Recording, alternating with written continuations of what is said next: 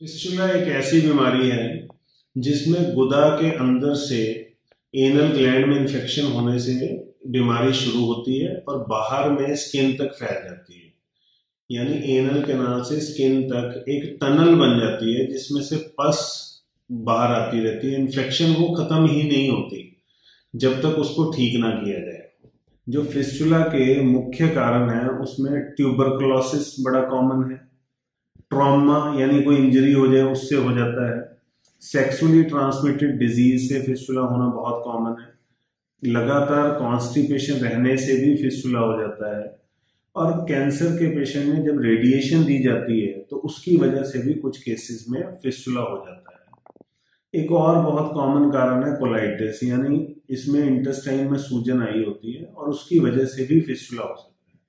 पर ये बहुत रेयर है। कि पेट के कीड़ों की वजह से किसी को फिस्टुला हो जाए। It is very very rare जो केस हमने ट्रीट किया, उसकी वो पहले ऑपरेटेड है, उसका पहले ऑपरेशन हुआ था, और उसको फिस्टुला दोबारा हो गया है।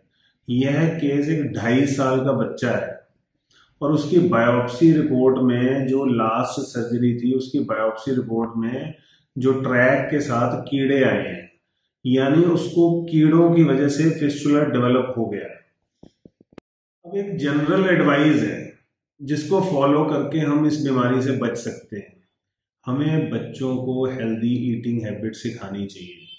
हेल्दी ईटिंग हैबिट्स में फाइबर ज़्यादा लेना, फ्रेश चीज़ों को खाना, यानी फ्रेश फ़ूड खाना, फास्ट फ़ूड को अवॉइड करना और एक बहुत इंपॉर्टेंट बात है कि टाइम टू टाइम बच्चों को डी वार्मिंग करनी चाहिए।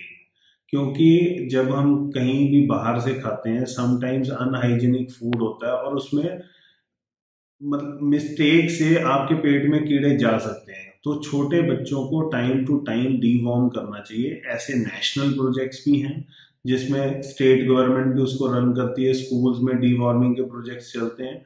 पर फिर भी कहीं ना कहीं कुछ पेशेंट्स मिस हो जाते हैं। हमें उनको गाइड करना चाहिए कि वो टाइम टू टाइम डीवॉर्मिंग कराते रहें और इस भयानक बीमारी से बच सकें। Thank you